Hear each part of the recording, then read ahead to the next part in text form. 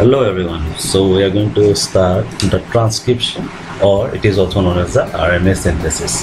So how the transcription it takes place in the prokaryotes as well as in the eukaryotes. What are the different steps?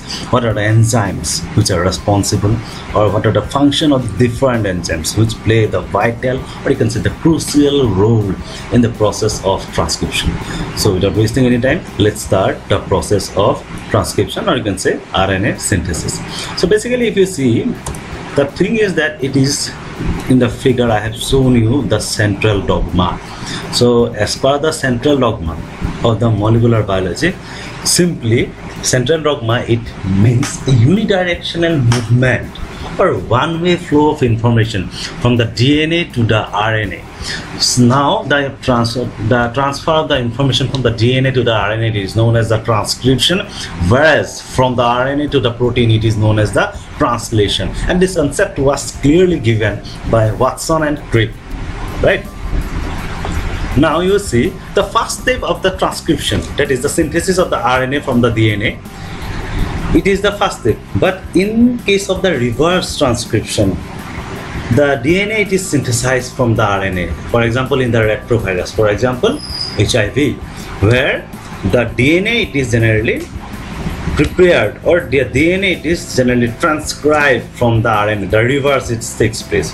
Moreover the concept it is given by the by the two scientists namely Temin and baltimore in the sarcoma virus also known as the Teminism and the enzyme which catalyzes this type of reaction actually it is the reverse transcriptase this reverse transcriptase concept it is used in our newly designed or the latest tool of molecular biology which is known as a PCR. So there we use this reverse transcriptase enzyme or it is also known as the RNA dependent DNA polymerase enzyme. Now, in the second step of the transcription, what actually happens? See, the mRNA, it is generally synthesized. So, the mRNA, moves the information from the DNA to the ribosome to direct the production of the protein. Now the production of the protein is generally takes place in the ribosome, right?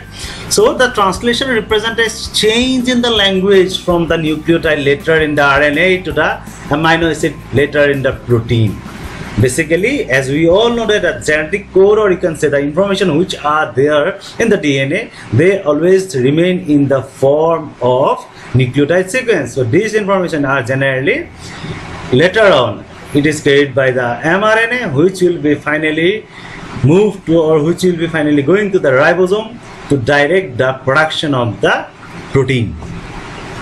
And Thus, we can say that transcription, it is also known as the RNA synthesis. It is the transfer of the information from the DNA where it is stored into the RNA which can be now transported or interpreted in the form of proteins. So, the major classes of the RNA. So now the three major classes of RNA. So basically the three major classes of RNA are basically these RNA they used to get involved in the production of protein synthesis. We know that. So basically the three classes of the RNA they are the mRNA. mRNA means the messenger RNA they carry the message from the DNA to the ribosome for the synthesis of the protein.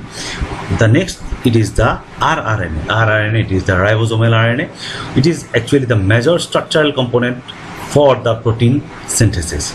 And the next one it is the tRNA. The tRNA it acts as a, actually as a adapter molecule which actually aligns the amino acid according to the sequence which is present in the mRNA for the synthesis of the protein.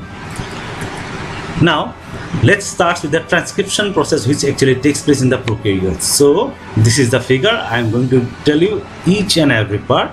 So let's start. See in the prokaryotes, this transcription it is catalyzed by an enzyme which is known as the RNA polymerase. And this makes the RNA this RNA polymerase it makes the RNA from the DNA using the DNA as a template. Right. Now the strand of the DNA which is transcribed is the template you can say template it is also known as the sense or you can say the non-coding strand in the direction of 3 prime to 5 prime. Whereas there is one more strand is there because it is a double stranded DNA we are going to transcribe right? The other strand is known as the non-sense or you can say non-template or coding strand which is the main one. This coding strand which remains in the direction of 5 prime to 3 prime now you see the prokaryotes they have only one RNA polymerase which synthesize all three types of the RNA that is the basic difference. I repeat this line once again. The prokaryotes they have only one RNA polymerase which synthesize all the three type of RNA mRNA, tRNA and the rRNA right? Now the RNA polymerase it moves the template strand of the DNA in the 3 prime to 5 prime direction. And the RNA molecule it always grow in the direction of 5 prime to 3 prime. So RNA polymerase they moves the template in the direction of 3 prime to 5 prime whereas the RNA molecule it goes in the direction of 5 prime to 3 prime. The RNA polymerase it consists of the 5 polypeptide. So these are the polypeptide, nothing but you can see here there are two alpha unit, one sigma unit, one beta unit, and one beta prime unit, right? So this is consists of the five polypeptide unit.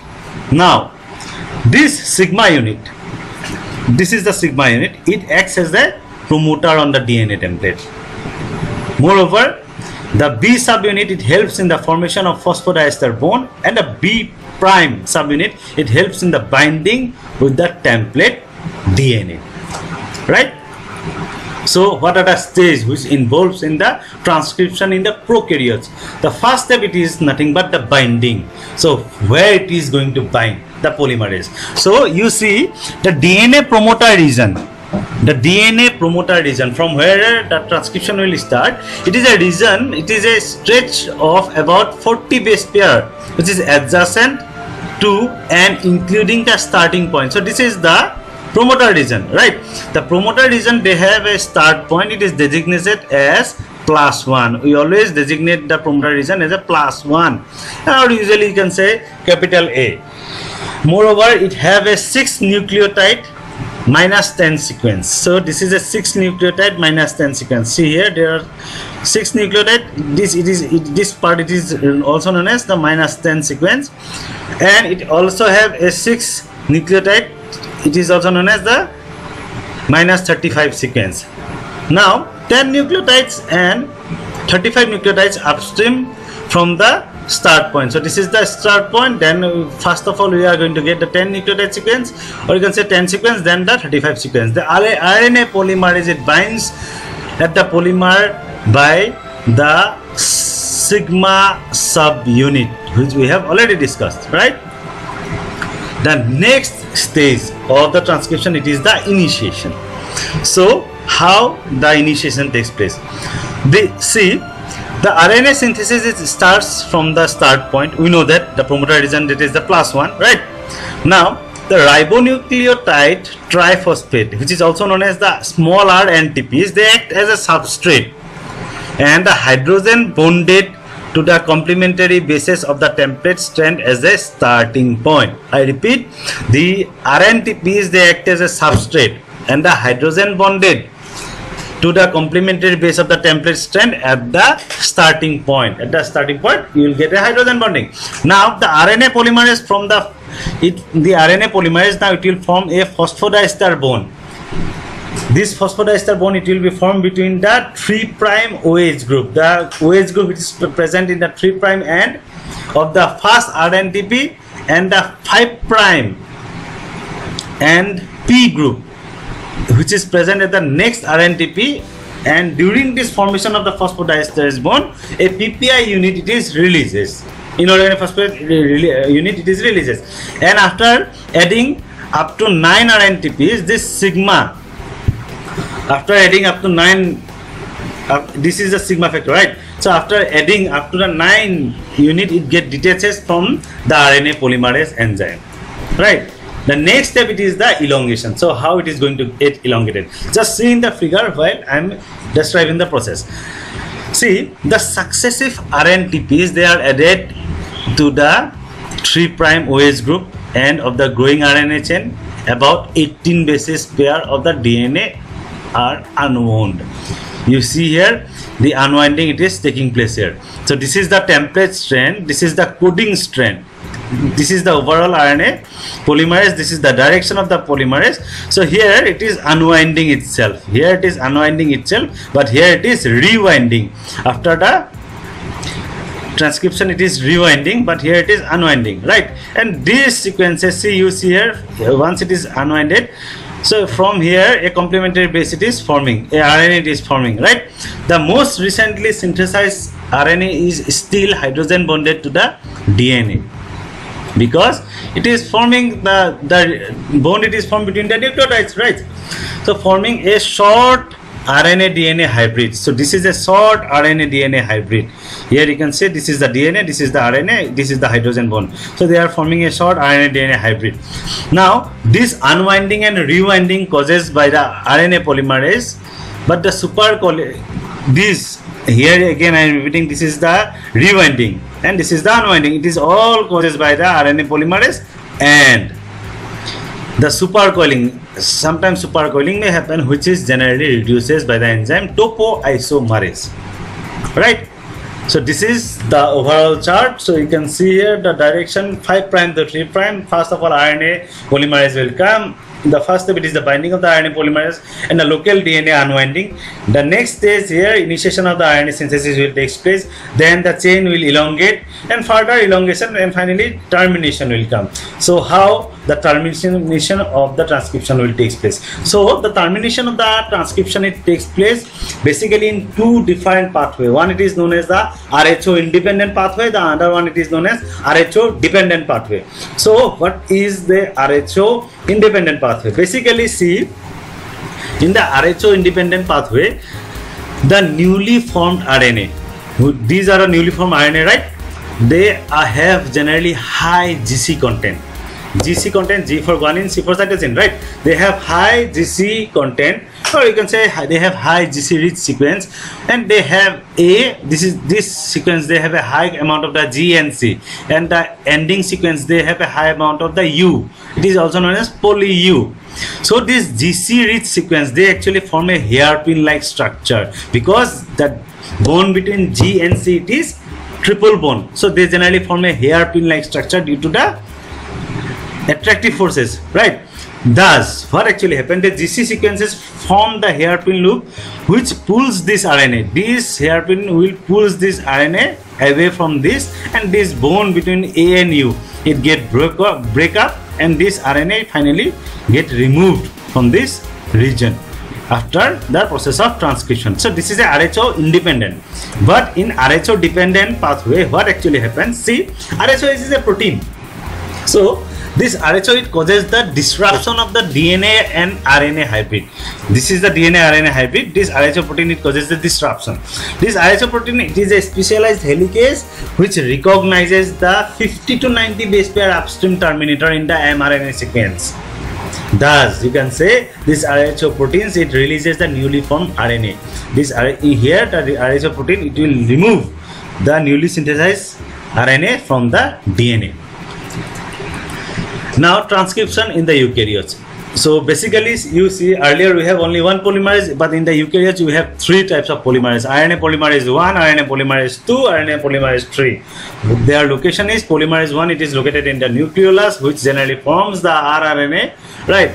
Then the polymerase 2 it is found in the nucleus which generally forms the mRNA and then finally you have the RNA polymerase 3 right which actually help in the synthesis of the tRNA right so here how the initiation takes place. So the transcription factor tf transcription factor and the polymer and the sorry and the polymerase it undergo binding.